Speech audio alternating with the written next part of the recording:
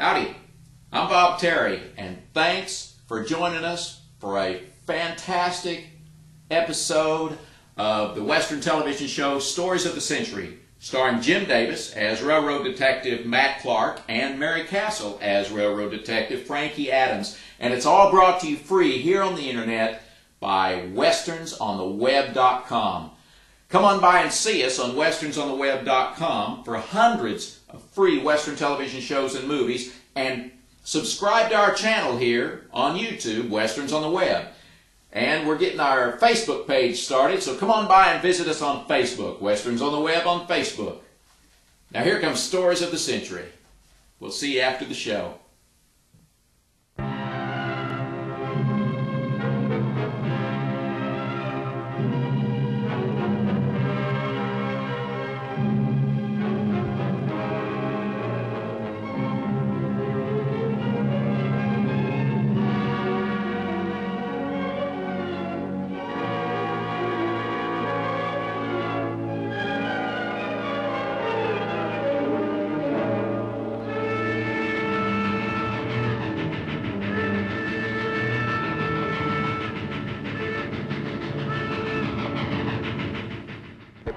Files of the early West record many stories of famous and notorious characters of that period. One of the boldest and most defiant criminals of the Southwest was Black Jack Ketchum. By 1897, he and the members of his ruthless gang were wanted in both the United States and Mexico for train robbery, murder, assault, and extortion.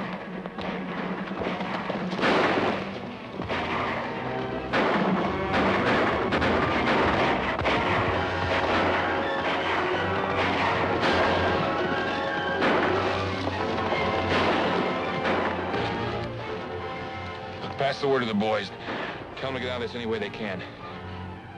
Tell them to meet me at the Cullen Ranch, Clayton, New Mexico. All right, Black.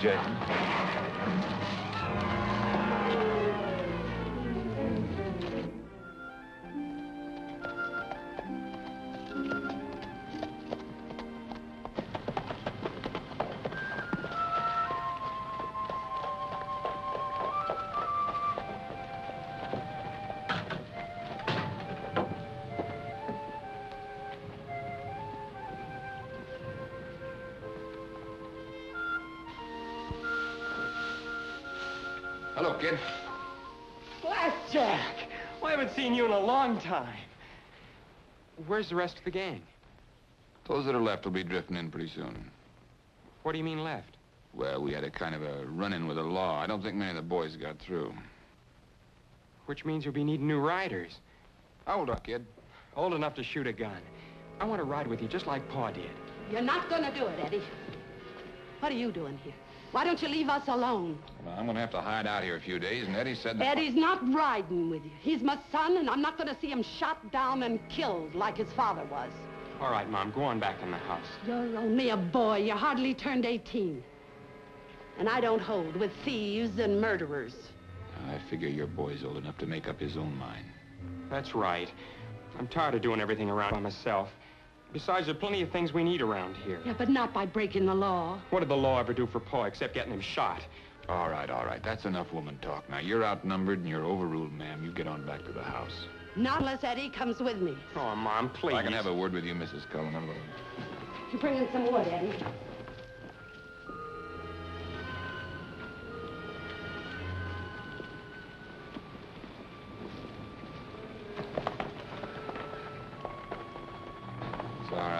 The rest of the boys.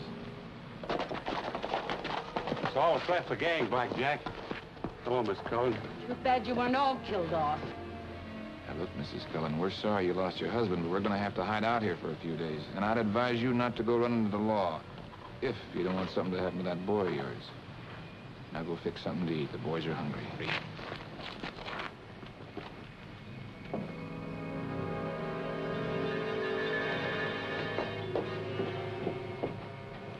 Blackjack.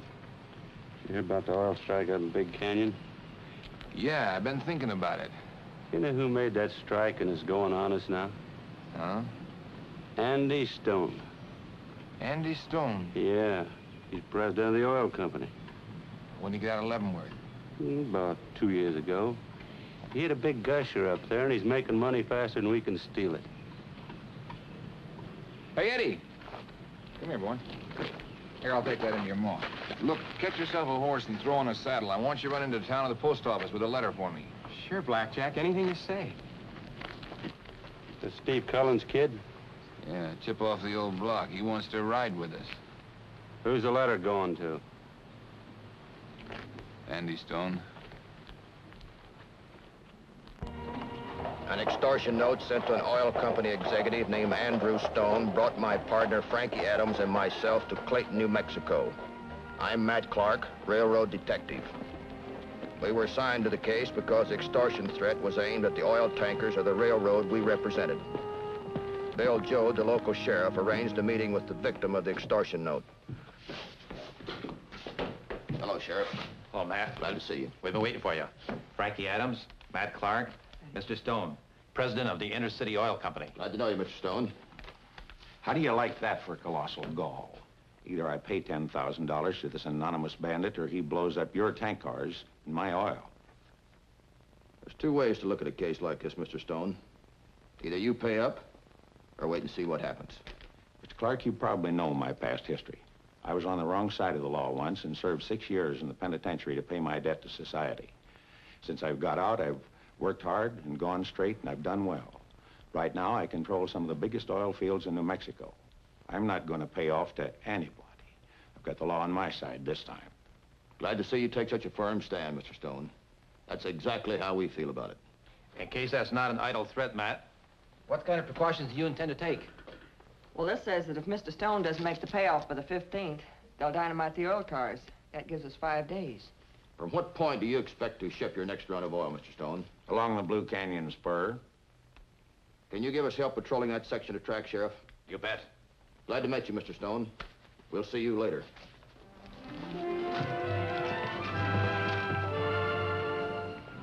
On the day after the threat, Frankie and one of Sheriff Joe's deputies and myself patrolled the country along the Blue Canyon Spur.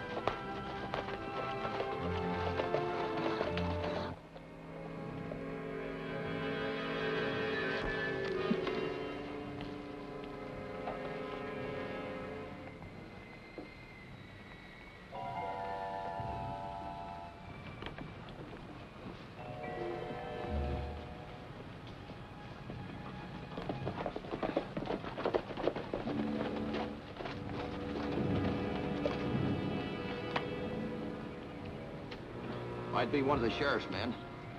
I'll check over by that trestle.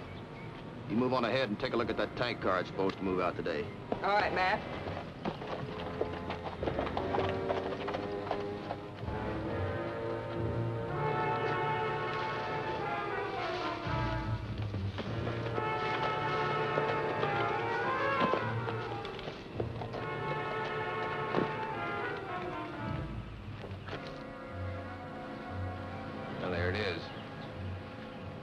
Listen, Blackjack, why don't we wait?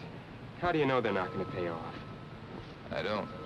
Stone still has a couple of days to make up his mind. Blowing up that trestle in this oil car will show him we're not just bluffing. Come on, kid. You release the brake. I'll help you get her rolling.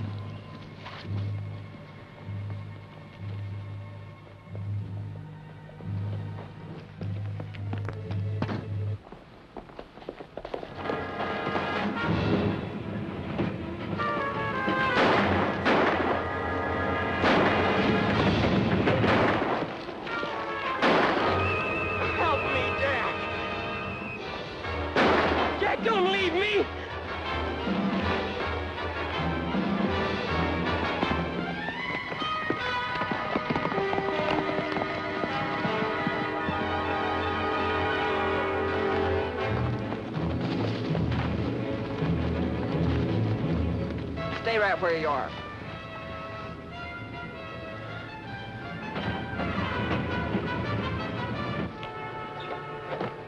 Hey, you!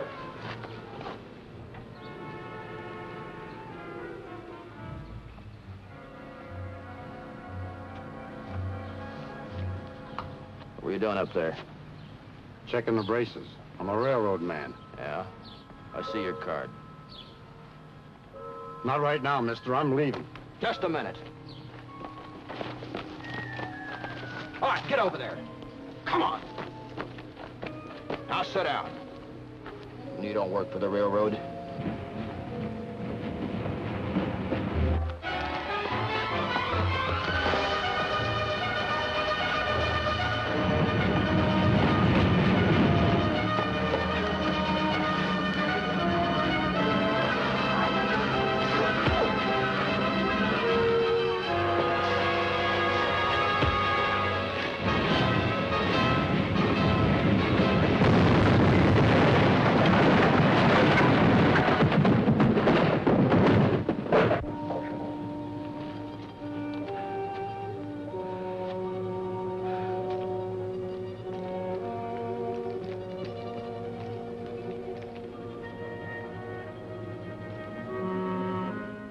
Lad Frankie caught turning loose the oil car was a local boy known to the sheriff.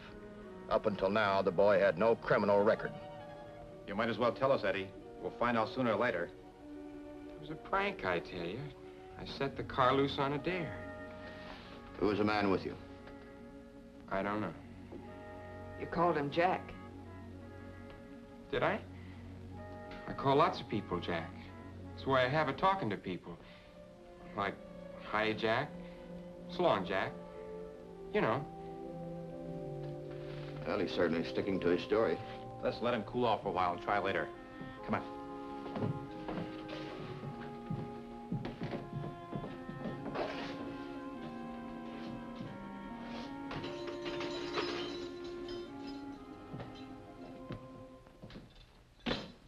Well, Matt, what now?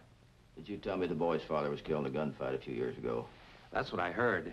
I wasn't in this part of the state at the time. Why? Well, the name Cullen seems to strike a note, but I just can't place it. Does it mean anything to you, Frankie?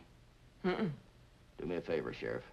Send wires to Tucson, Denver, and El Paso police departments, requesting a rundown in the name of Cullen. I'll get right on it.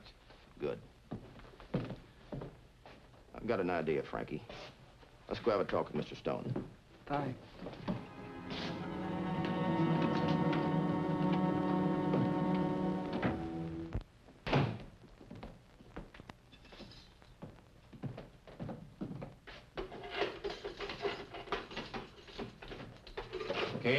Go. How come? Writ. Insufficient evidence. I knew you couldn't hold me. Just sign this paper and you can go home to your mother. My oil goes up in smoke, and what have you people been doing about it? Nothing. Absolutely nothing. Just a minute, Mr. Stone. Never mind the excuses, Sheriff. Where's that railroad detective? Well, presently out on business, sir. Well, when he comes back, you tell him I'm through with him and his railroad. Tell him from now on I'm shipping my oil by wagon. I've made a deal with a freighting company who'll move my product at half the price. Please, Mr. Stone. Well, it's no secret. Or at least it won't have to be by morning. My oil will be on the road by then. Good day, Sheriff. And don't forget to give Clark my message. I won't forget, Mr. Stone. Letting you go free, Eddie, is against my better judgment. It's out of my hands. My advice to you is go right straight home and stay there. And keep out of further trouble. Thanks, Sheriff.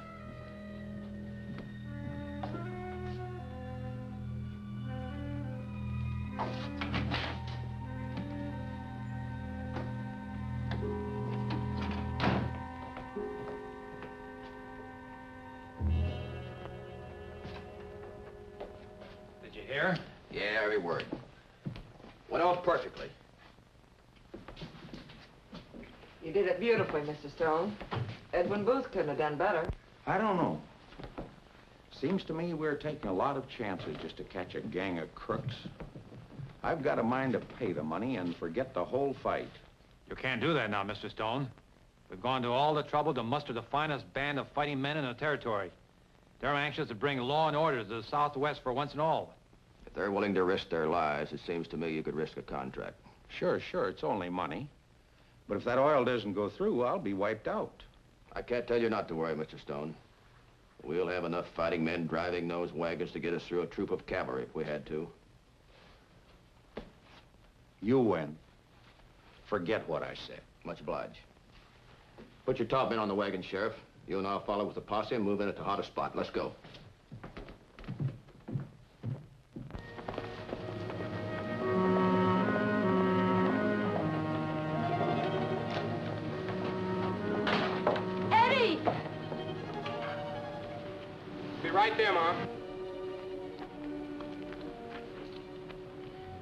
The idea of leaving me there alone with the law?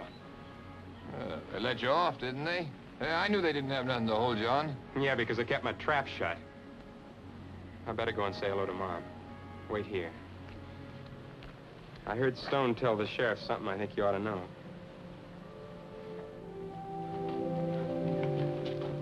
Mom.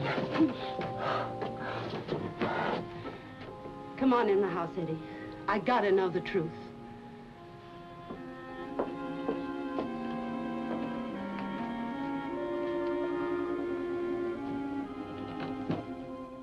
Well, Frankie, the all wagons are all loaded and ready to roll. Now, if that kid runs true to form... Here are the answers on the kid's dad. They all agree that Cullen was a member of Blackjack Ketchum's gang. Matt, do you think Blackjack's been behind all this trouble? Frankly, I don't know why I didn't think of Blackjack before. Extortion is one of his pet schemes. Looks like we flushed out a big bird, huh? About as big as they come. If they snap at our bait, we'll have one of the leaders of the worst gangs in the Southwest. And if it is Blackjack, I'll guarantee you one thing. He'll try to stop those wagons. Let's go tell your men we meet at dawn.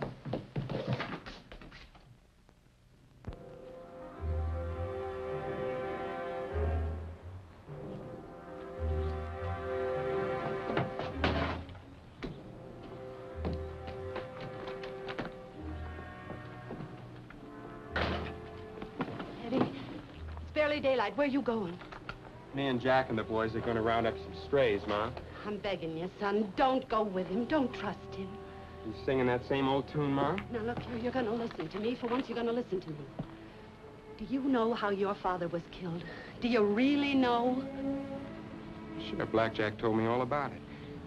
The law gunned him down when he came out with his hands up. He didn't even have a chance to pray. The law shot him because he came out shooting. Because Ketchum sent him out to draw their fire so that Ketchum could get away. Why are you making up that silly story to turn me against Jack? No, it's the truth, I swear it. Your father made his way back here. He was dying. He told me how it happened. Just before he died, he told me. Why don't you tell me before now? I didn't want you ever to know. There wasn't ever any need for you to know. Hey, Eddie, come on.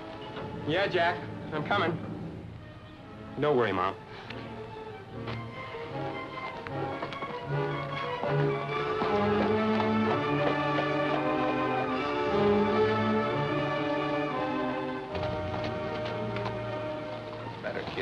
Playing on your heartstrings? That's right.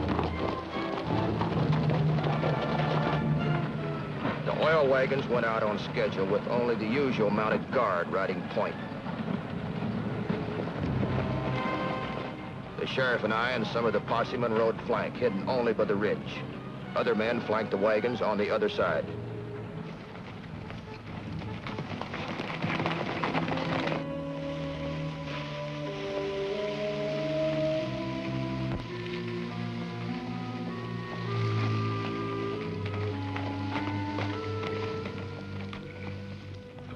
Boys all finished with the kerosene? Yeah, the stuff scattered all along the canyon.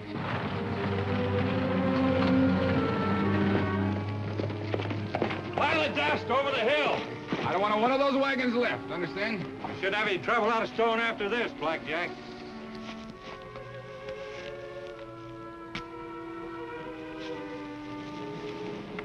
Okay, Eddie, set off the brush. When you get through, we'll be waiting for you in the rocks.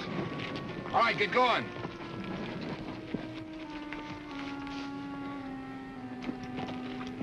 Keep an eye on the kid. If he gets soft, why...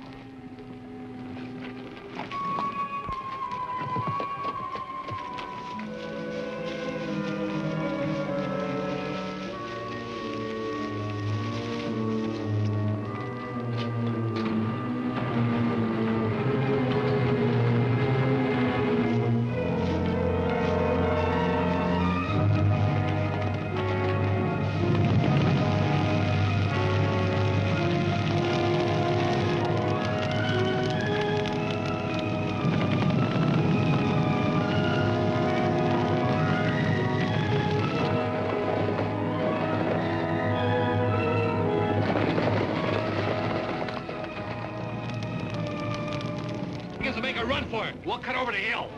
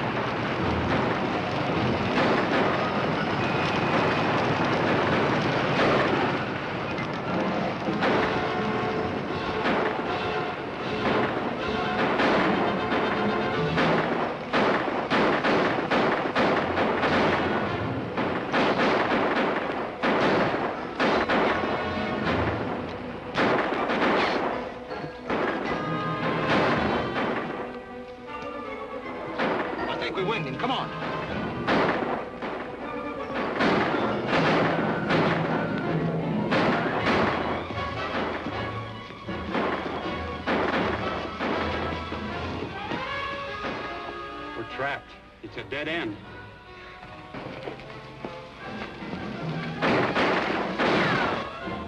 Looks like we'll have to make a break for it. You boys go ahead. I'll cover for you. What was that? I said you boys go first. I'll take the dirty end and cover for you. Go on, Covert. You first.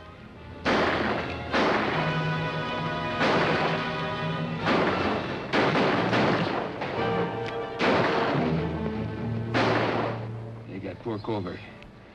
Go ahead, kid. You try it. Have you cover for me like you did for him? Like you did for my dad? You run out of here or I'll blow you out. Now move! If we go out, we, we go together.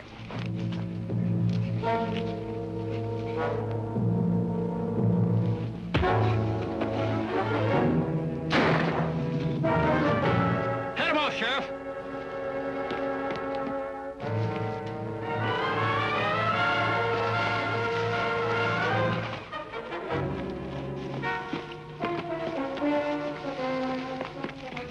All right, Blackjack.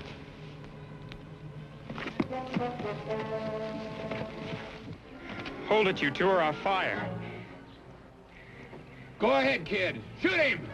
I'm gonna plug you, Blackjack. For what you did to my paw and what you tried to do to me.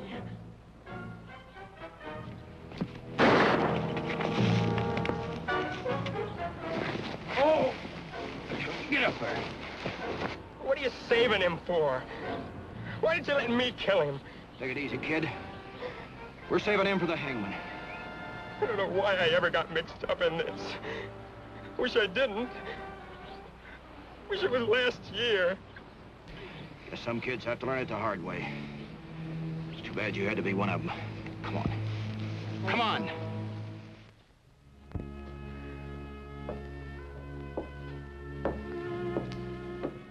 Don't worry, Mrs. Cullen. The doctor says his wound isn't serious.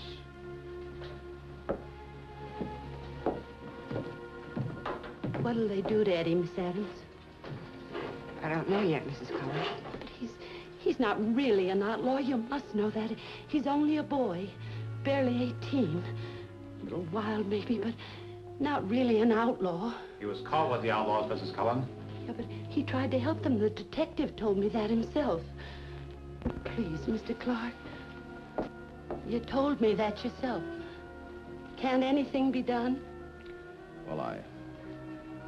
I- I'm sorry, Miss Cullen. Ketchum, was this the first time Eddie worked a job with you?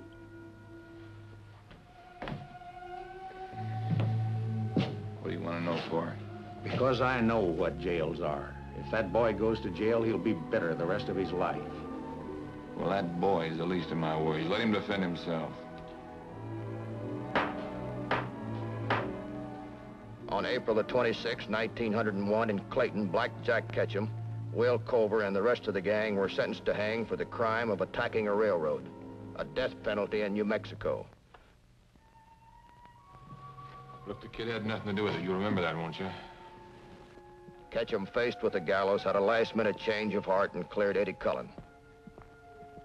The boy was released to the custody of his mother until he was 21. So ended a man who, believing that might makes right, finished in an unmarked grave.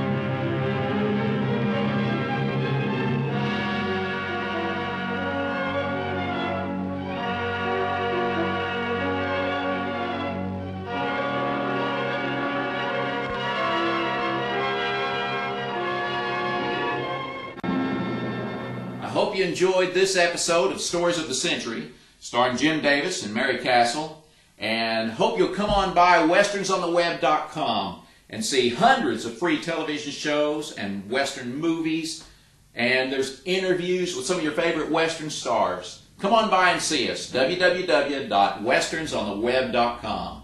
I'm Bob Terry, and we hope to see you again on Down the Trail. Have a great day.